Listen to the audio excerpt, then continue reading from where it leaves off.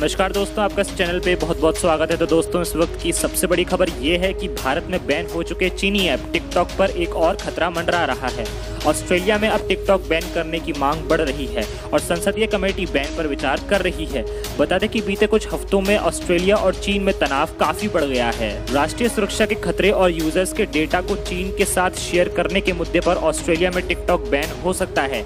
चीनी कंपनी बाइटांस के app TikTok के ऑस्ट्रेलिया में 16 लाख से अधिक यूज़र्स हैं। ऑस्ट्रेलिया के एक संसद ने टिकटॉक बैन करने की योजना शेयर की है। ऑस्ट्रेलिया में भी ये कहा जा रहा है कि यूज़र्स के डेटा को चीनी सर्वर पर डालने से खतरा हो सकता है। हेराल्ड सन अखबार से बात करते हुए ऑस्ट्रेलिया के संसद ने बताया कि कई और संसद ऐप बैन करने की कोशिश कर रहे हैं। उन्होंने कहा कि टिकटॉक चीनी मैसेजिंग ऐप वीचेट भी बड़ा खतरा हो सकता है। सीनेटर जेनी मैक्लियस्टर ने कहा कि टिकटॉक कंपनी के वरिष्ठ अधिकारी को सीनेट इंक्वायरी के लिए उपस्थित होना चाहिए। ऑस्ट्रेलियन स्ट्रेटेजिक पॉलिसी इंस्टीट्यूट के एक्सपर्ट फर्गस रियान ने कहा कि टिकटॉक पूरी तरह प्रोपोगेंडा और मास सर्विलांस के लिए है।